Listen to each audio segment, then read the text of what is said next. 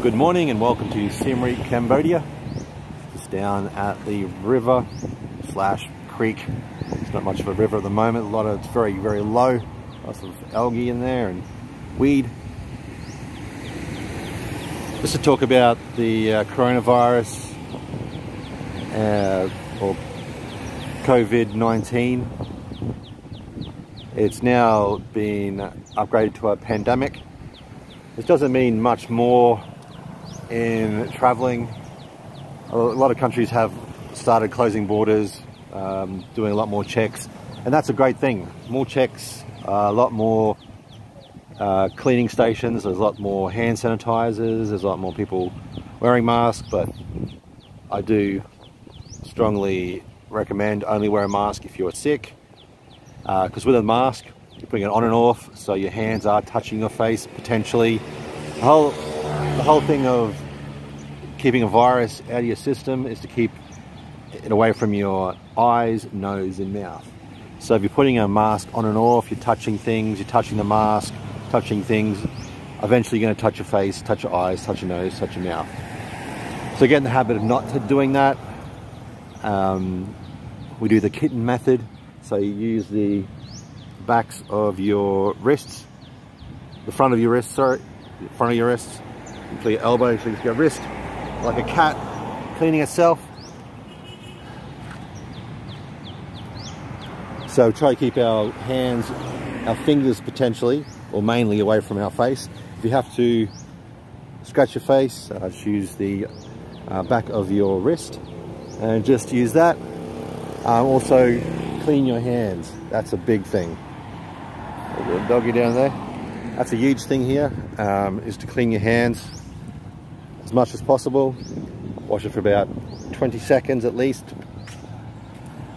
It's very nice down here at the waterfront. Also, if you are washing hands with alcohol, usually 70 proof uh, hand alcohol sanitizer. Don't use just you know, grab a bottle of vodka and start throwing it on your hands. That's not going to work. It's at least 70 proof. Only wear a mask if you are sick because the mask is more to stop the spread. So if you are sick, do stay indoors. Don't go outside and spread it potentially.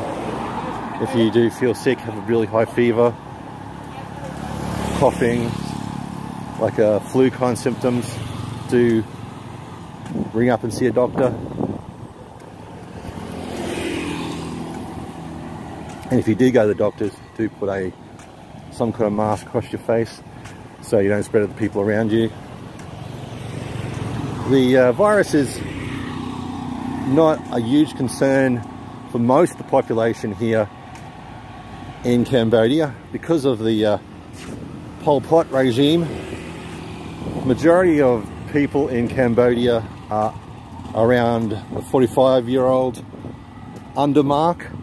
It's a very young population. Something horrible has actually strengthened these people slightly. Uh, the downside is the hospitals aren't very capable. There's not many of them, but on the upside, there's not that many people over the age of 65.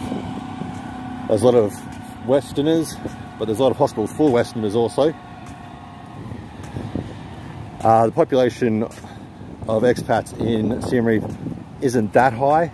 Uh, the tourists have dried up nearly totally. It's, uh, I, I would say still come, but things do change every single day. I've been trying to do this um, walk and talk for about a week now. Every time I start to do it, something change changes. At the start of this, they were doing nothing, absolutely nothing. Um, said, the, uh, they even said that you couldn't get it if you're a Cambodian. It's not here, just total denial. Uh, it's changed 360 on its head. Um, the World Health Organization, um, I think, had a big discussion with the Cambodian government and uh, really said you have to do something. This is not a joke. But I do stress, do not panic. It's concerning. But if you do the, the mantra, wash your hands, don't touch your face, wear a mask if you're going to a place. It's those that mantra that you've got to stick by. Uh, also, uh, be careful, like if someone is coughing, get up, walk away. Don't feel obliged to stand there or sit there. It's about, I think it's nine o'clock and it's the sun is brutal, but I'll get around to the shade. It's much nicer.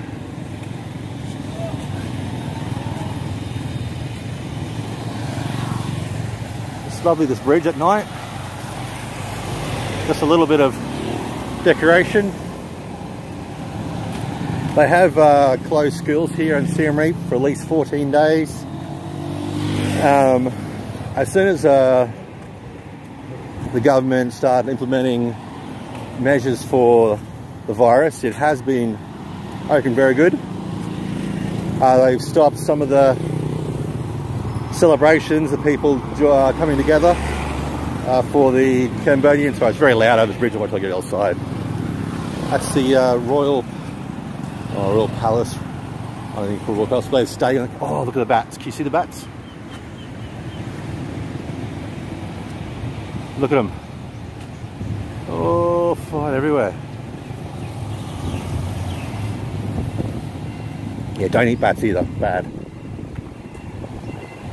Okay, it's much quieter down here. Uh, so the government has stepped up its uh, act with uh, a lot of uh, stations. You can wash your hands, sanitizers, that kind of stuff. Um, when you go to uh, Makro, which is a big supermarket just out of town, um, they have someone who will spray down your um, shopping trolley or shopping cart, whatever you want to call it, and clean it for you. Uh, they also have a person to check your temperature. I know it's not a full a foolproof way, but it is a much bigger step up from nothing because that's what it was before. Ugh. Yeah, the uh, tourist population here has dropped dramatically. Uh, they're saying uh, around 80%. Um, I, as I was saying, I do still think people should travel. At the moment, you, you get one life. You can either stay home, potentially get it, or travel, live your life, potentially get it, but still living your life.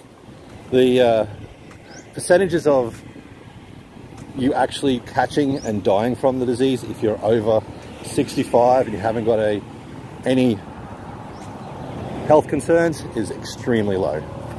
Extremely low. So as long as you keep up that mantra of wash your hands, don't touch your face. If you're sick, put a mask on and see a doctor. Just stick to those things and you should be fine. Um, with uh, travel now, most airports will give you a, a check. There's actually a lot of um, confusion around going to Vietnam at the moment. There's a big list up of people going through land borders of countries they won't let through. Even if you have been living in Siem Reap or living in Cambodia and you can prove that and you've got an Australian passport, they won't let you through these land borders. This is what's been on Facebook. I myself, I don't know if it's true or not, but it has been reported by several people Australia is on that list. Uh, also, some airlines want you to get a doctor certificate 48 hours before you leave that you haven't got the coronavirus. So, I, I think that's totally over the top and unnecessary as the virus can take a certain amount of time to uh, show up. But this is just one thing they're trying to do. Um, Cambodia is positioned to my very limited understanding, that it's, positioned quite well uh, to combat this as the population is under 45. Uh, I wouldn't think there'd be much problem with obesity here compared to the West. Uh, like heart conditions, high blood pressure. They're, they're very fit people. They they work hard. They work very hard. Six days a week they work. They're very hardworking people. I haven't seen too many overweight Cambodians. So I think health-wise, they're right at the top of the pile due to the percentage of people over 65. The only problem is the hospitals and if they can take an influx of people. Then you have the other way that a lot of people self-medicate because it's they think it's too expensive to go to the doctors. So they probably may stay home. But these people may even spread the disease. But I think uh, as the population is quite young, that they should get through this quite easily. Uh, there's a lot of um... hello. Hi. There's a lot of uh, campaigns going on from the government, um, trying to tell people, you know, wash their hands, don't touch your face, that kind of stuff. So the government is doing a lot to try and stop the situation, well, contain the situation.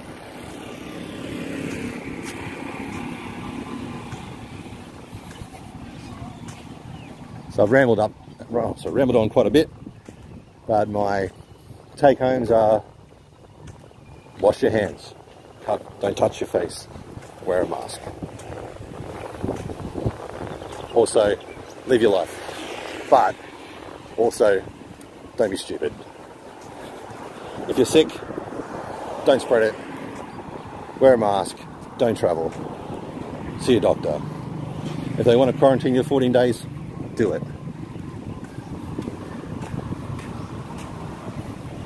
To the sun.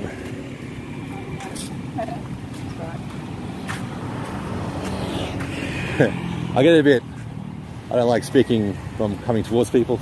I feel like a bit of an idiot. I'm not as comfortable as Dave is and talks. But there's not that many tourists here. As you can see, I only passed probably four people. Uh, they are hurting quite badly from this whole virus. And even before there was a downturn in the numbers coming to Siem Reap in Cambodia due to the uh, large drop of Chinese tourists I do recommend that you keep up to date on all the updates from your country. This is a very quick changing situation. In the last probably five days, it's done a total 360 here in Cambodia from doesn't exist, we can't get it to, well, we, we have to do something to shutting down schools.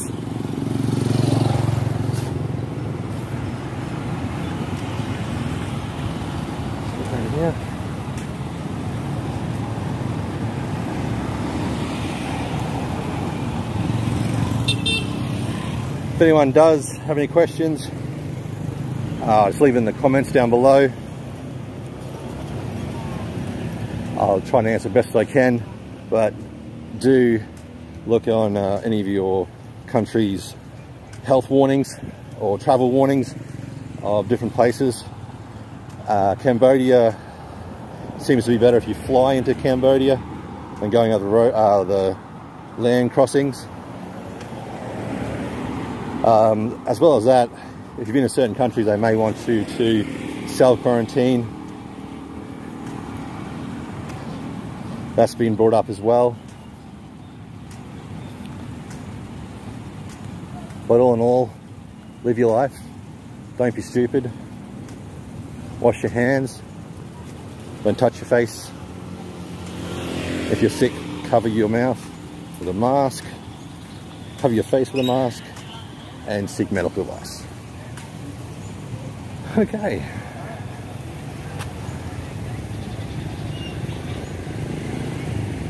Just the best river here. Uh, like and subscribe. Uh, down the bottom, as always, all the links of the other YouTubers in Siem Reap and Cambodia.